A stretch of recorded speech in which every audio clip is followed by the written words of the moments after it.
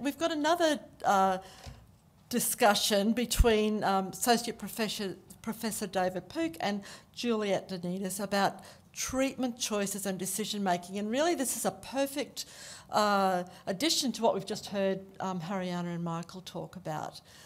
Associate Professor Pook specialises in treatment of prostate, kidney, bladder, and testicular cancers. He's the principal investigator on multiple international clinical trials treating urological cancers and is deputy chair of ANZUP's Kidney Cancer Subcommittee. And Juliet has a great story to tell about her experiences on an ANZUP clinical trial. In 2019, she was diagnosed with metastasized sarcomatoid renal cell carcinoma and eventually participated in an ANZUP clinical trial for rare kidney cancers led by uh, Associate Professor David Pook. So, uh, can I say David or Dr. Pook? Associate Professor is just far too long. David's fine. so, look, when you're um, what information do you look at, you know, when you're deciding um, about options for your patients. So you've got Juliet's come in to you, and then so what goes through your mind as the clinician as to how you know what am I going to offer this patient? How is she? What's she going to benefit best from? Juliet was an easy one, uh, not for a good reason. Um, her sort of kidney cancer was a non-clear cell kidney cancer, and at the time there were no funded treatments available in Australia whatsoever. So, according to the standard treatment in Australia, we were supposed to move to palliative care, and that was it. There were no treatments. Um, so it the timing was pretty good because we had Craig Gedye's study, uh, the Unison study, open. Um, and that was an ANZUP study, and I, I, know Craig worked really hard pushing the drug companies to try and get um, them to look at the non-clear cell cancers. Um, it seemed a little unfair that there were 25% of kidney cancers just because the pathology didn't look a certain way. Um, down the microscope that they, they weren't included in all these previous studies, and so there was, we were left with this big gap in treatment. And so uh, a lot of background work went in to try and push to get this study up and running. Um, and so with Juliet, it was pretty straightforward. It was like, look, we have this study. We, we, we don't know how well it's going to work in your sort of cancer. In the clear cell cancers, we know it works well, immunotherapy, but we don't know in your sort of cancer. So it was a leap of faith as well for Juliet because the, we hadn't used the immunotherapies in her sort of cancer. So we sort of knew about toxicity, but not about would this work or not. So Juliet, then you know you've, you've been given this information. Um, what went through your mind when he was explaining all this to you and going, well, you know, here's something that you might like to try, but we don't know. Well, I think like anyone would, if you've got a chance, if there's some hope, you take it. So that was probably the first thing was whether it would work or not at least you're a part of a process of for the next person that it might work for them. So, what information did you uh, look at? Any other information when he sort of spoke to you about this? Did you go off and, I guess, building on a bit of what Michael and Hariana talked about? Did you do any googling? Did you go into any groups? Did you do any reading to to help support your decision and clarify what he was asking you to, to do? the decision to do it was immediate. That was a definite yes. Um, but of course, you do Google, you do research, and you do read. Um, and it was pretty depressing reading, actually. So I was pretty happy to have an option. Can I just grab something that Juliet said then? And it's probably a reason why a lot of us do oncology. Um, so she came into the clinic and she was pretty scared and she was really worried about a cancer that had spread and she knew that it spread and you heard what she said then. She goes, Well, if it didn't work for me, it might work for someone else. And that's not an unusual thing that we hear in clinic. So uh, we're pretty lucky. We, have, we end up working with a group of people that are in the worst possible time of their life, thinking about other people, and it happens all the time. So I'm usually in awe of people that are like that. I don't know if I'd be so generous at that time.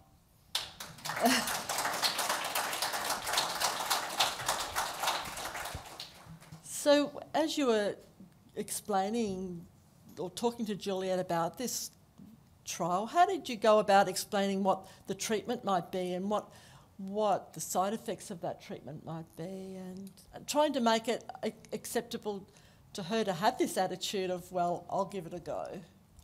It's actually a really good question. Um, because it's a clinical trial, it's actually tricky. Um, if anyone's um, been given any information about a clinical trial, the look the the ethics committees are trying to do the right thing, right? So they're trying to say you can't oversell a study, um, but the problem we have is that we have to hand a patient a really long form telling them about. she's got it.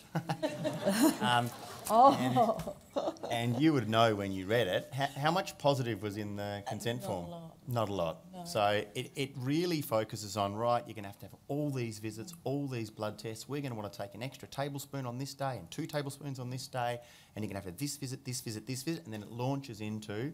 This one was long, wasn't it? This was Yeah. four pages, maybe five pages of potential side effects, and some of them sound horrendous.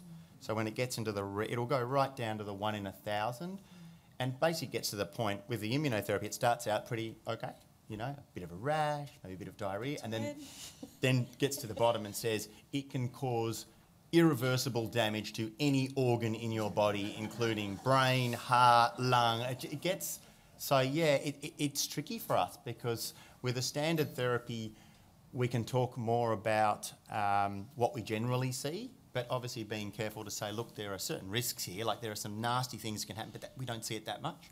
With a clinical trial, it's tricky because we can't oversell the trial. So yeah, it's it's a hard conversation saying, look, we do use this treatment all the time. I know it sounds bad on paper, um, and luckily it was a it was a treatment that we've used before. So that wasn't such a problem for us. The problem really was was it going to work? That's what we couldn't answer. And it's interesting because it turns out that your sort of cancer, funnily enough, um, responds very well to immunotherapy, which wasn't something that was apparent at the time we put you on the study. So that's how fast things move. yeah. So when you, but how did did you do anything in specific way to help Juliet make that decision? Like you say, here's this big document to read. Um, did you? What extras did you do? Did you have to go through the process of re-explaining it to her, or did you leave yourself open? Say, come read it and come back. Yeah, so uh, the other thing the ethics committee doesn't want us to do is to try and oversell or pressure anyone. So we need to make it very clear that if we have a clinical trial available, it's an option.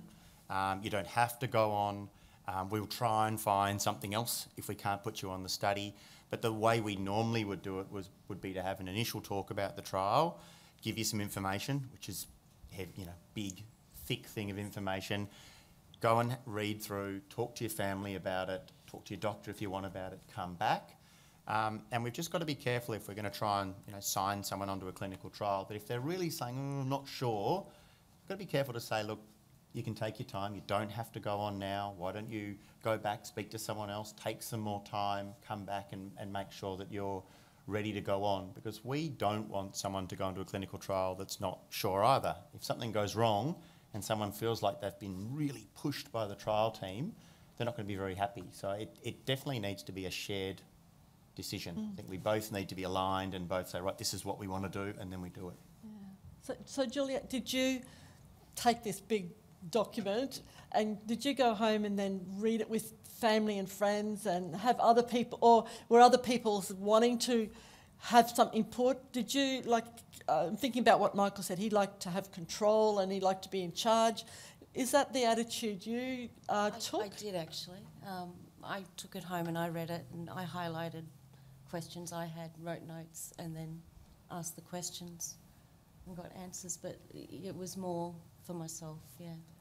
Did you find that uh, family and friend try, friends tried to influence you about not being involved? Because I think one of the problems we have is what the what everyone understands, some of the myths around clinical trials, and you're being experimented on, and this is not going to be good for you, and why would you do this? Did you have that sort of? Um, Not in my immediate family, though my younger sister's a GP, so she was really all for it. Um, but uh, some acquaintances, some people I knew questioned whether I should be doing it. So there was that attitude out.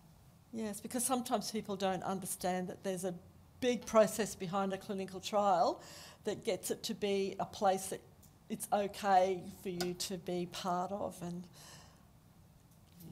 so I think what Juliet just said, you know, making uh, some notes and then going back and having that's part of the decision process, isn't it? Absolutely. Yeah, yeah.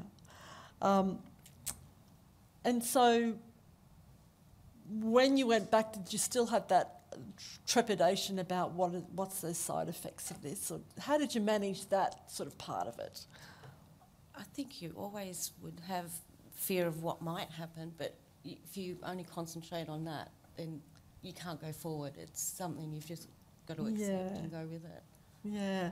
So, what would you say then to somebody else, for instance, who is thinking about whether they would go on a clinical trial or not? You know, given there's some unknowns in, in there.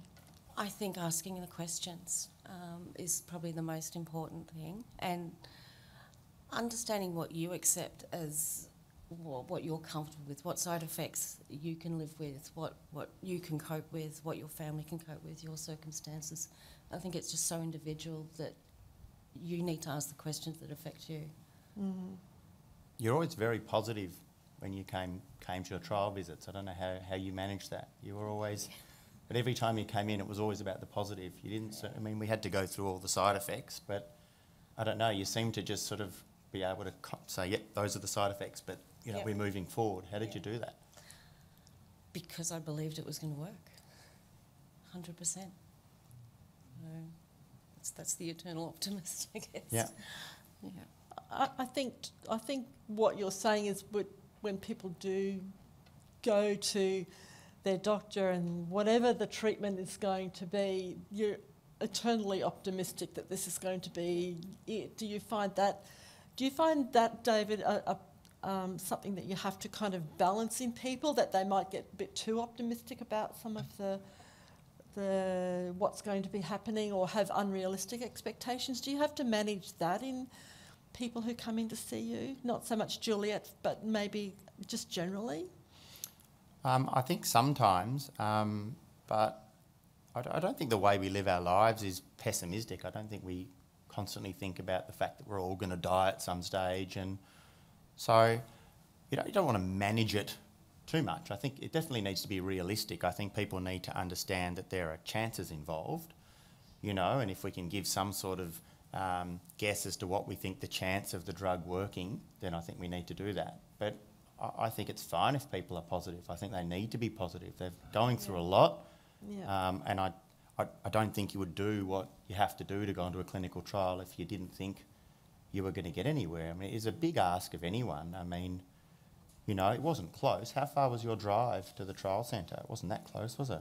Oh, not too bad. Mm, 50 minutes. So it's an hour each way, and then the scans were on a different day, so you had to go back and do scans on the different day, um, the blood tests and all that sort of stuff. Like it's, you know, that it, it wasn't that easy. You know, it's it's it's a pretty busy trial centre. Like it's it's a lot involved. So I think you need to I think you need to feel that you're you don't want to get rid of people's positivity. I don't think. Otherwise, I don't think they would go through all of that. No. But I, I guess I was thinking more about realistic expectations.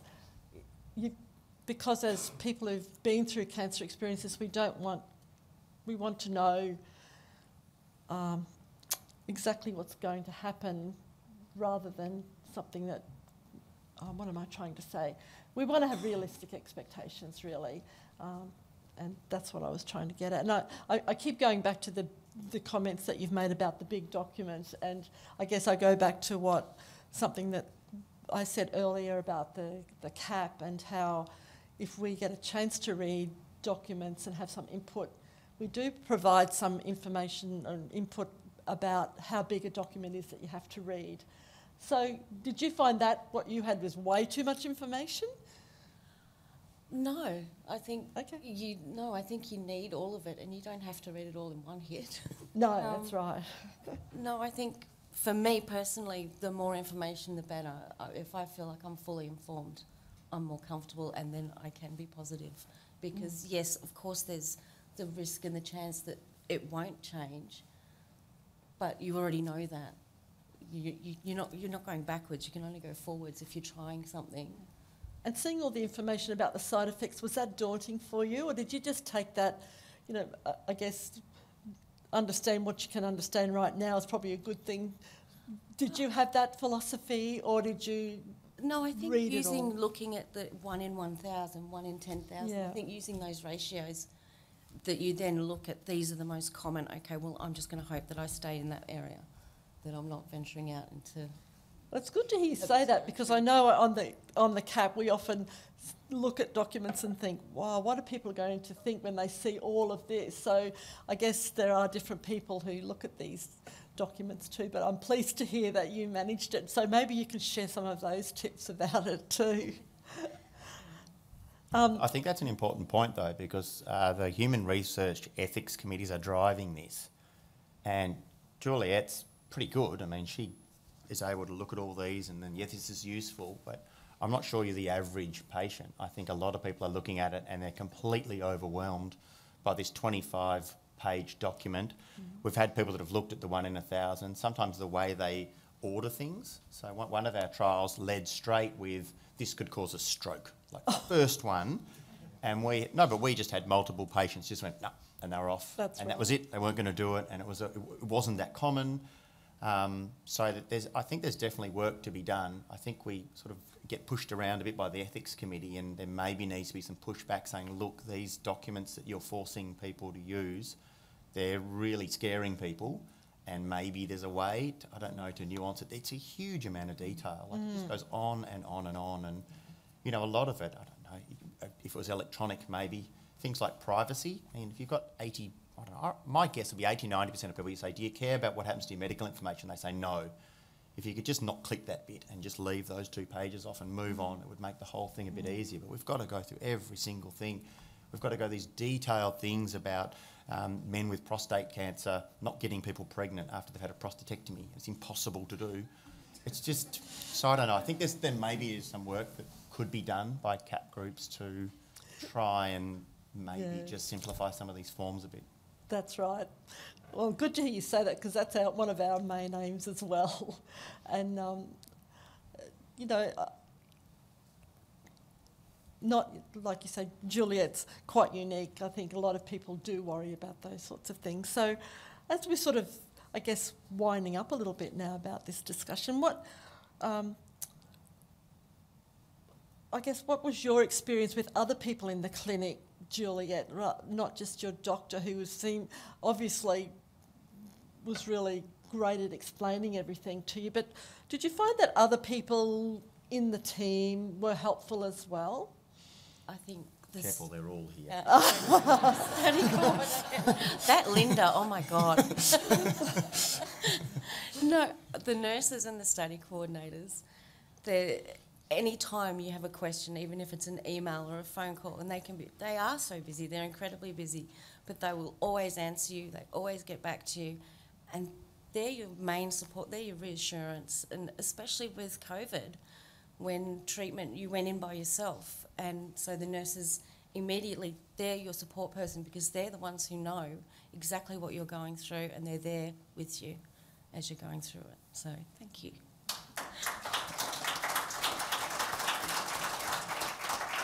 And I think we find that those the, the support, you know, the other team members uh, are there to clarify what you've heard. Because sometimes I would, would you agree that if you're sitting in front of the doctor and he's giving you all this information, that sometimes it goes in one ear and out the other, and you go outside and think, what, what was I just told? So did you use them for that purpose too? To kind of, can you re-explain this to me, or did you Yeah. find they just did that for you? Absolutely. And, and even if I would mention something that I thought wasn't of any consequence, the next thing you know, Dave would be bringing it up. So it had been passed along. So you really That's felt right, looked after yeah. and cared for. Yeah. So often we hear that people who've been involved with the clinical trial have do well because they're so well looked after. Would you say that that's a true statement? Yes, I don't Mm. think you could have your health monitored any more closely. Yes, and because even though sometimes, would you agree that sometimes going to all those um, those interviews and having the test one day and going back for your treatment another day, and it might have been tiring for you, but when you look back, did you think that was a good thing because I had all that extra? Whereas someone not going through a clinical trial might not have that interaction so closely. Yes, Mm. it was a big difference. Yes, yeah. Because sometimes we worry about who's looking after me. How do I know when there's any changes? How, you know, if I could just see see through my body and see what's going on, that'd be great. But that's not what happens. So you've got this other team around you, don't you?